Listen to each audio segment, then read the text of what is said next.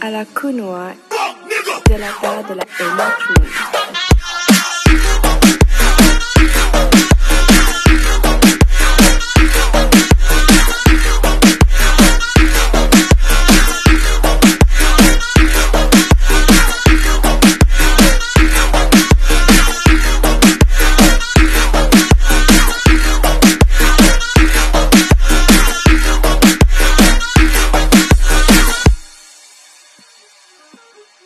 Bom de Iri, Titoi.